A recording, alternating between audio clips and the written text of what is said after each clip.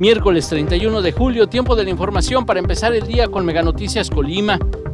Sin freno, continúa la ola delictiva en el estado, suman ejecutados.